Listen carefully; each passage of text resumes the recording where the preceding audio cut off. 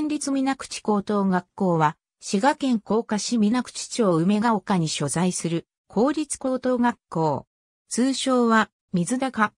1908年、水口城跡に創立した滋賀県立水口農林学校が前身。1919年、滋賀県立水口農林学校を廃校にした上で、滋賀県として3校目の県立中学校として、滋賀県立水口中学校が設立された。1975年、甲賀郡水口町に水口東高校が開校され、甲賀高等学校から水口高等学校と校名変更された。これは、新設校が水口高校を名乗ると、本校の前身である、水口農林学校、旧制水口中学校、水口高等女学校の伝統が、新設校に引き継がれているかのような勘違いを生む、甲賀高校は、甲賀町所在の高校と勘違いされやすいとの同窓会からの声が上がったため。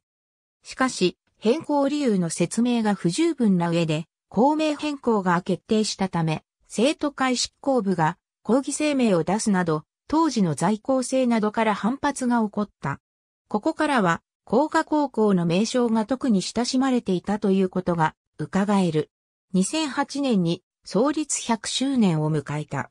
また、2009年度より鹿深祭りと文化祭を7月に合同実施するようになった。ありがとうございます。